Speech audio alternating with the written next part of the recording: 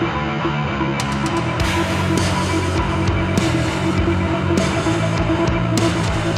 de corps érotisé à observer,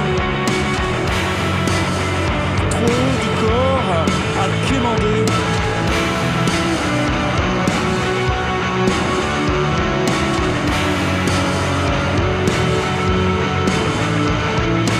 boîtes de préservatifs accumulés.